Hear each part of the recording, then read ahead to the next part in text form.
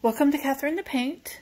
Today I am participating in the Artist Till Death fire class and I'm so excited. So here I'm putting down the clear resin. It's called, um, what, Greasing the Pan. I have mixed my colors together. We are doing a red and a mango orange and a bright yellow. And then we also have the Snow White by Color Obsession. The others are just resin. And you can get all of these products from Artist Till Death. This is on a 12 inch round cradle board, which is amazing. They have the nicest cradle boards. So you can get all of these products from them. And they even come in a kit so that you get everything if you want to take the class. But um, I have to say, that what these classes do for me is just build up my knowledge of how to do things. So I would have never even thought to do fire. So I think it is so cool. So you just put on the red first and you kind of do it in a flame shape and then you use your heat gun, warm it up. You just kind of get it moving. Move it first down like forward off that end and then bring it back. And then you're going to layer your orange.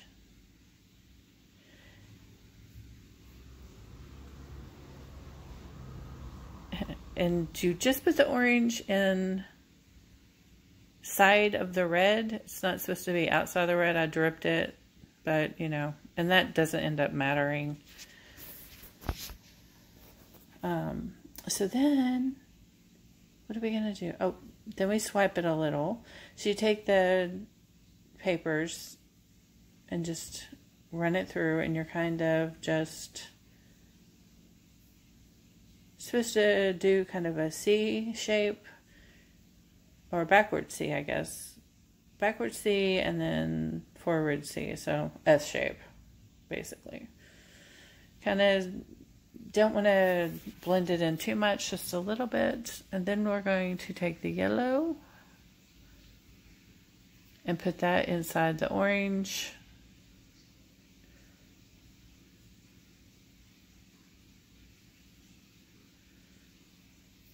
And then you take the white and put that inside the yellow. So we're just creating flames. It's really fun. And you have to use the heat gun and you loosen up the resin so it'll kind of melt together.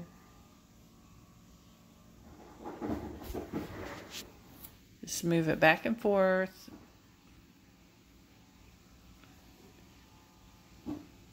And it is vital that you do the whole tilting it forward off the front end and then bringing it all back because that really does create the movement with this. So guys, don't forget to do that. I was just, do we really need to do that? Yes, it's very vital. So funny thing with this is, um, so I'm following along live with them. It is so amazing. And um, got a little behind and they suggested we blow on it on certain areas and I don't know how, but I got hair in this thing. And I'm not talking like my hair was just hanging in it. Like this baby had hair, long hairs all over. I had to get the tweezers. You'll see me at the end. I'm like plucking out hairs. it's just craziness. But it still turned out wonderful. So, see, can't mess it up.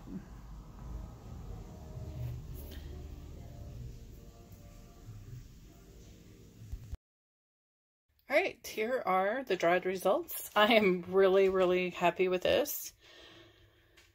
There was such a learning curve to exactly what it was we were doing and how I was going to get there, but ah, so exciting. So now that I understand the process, I feel like I could do it again. There's the details.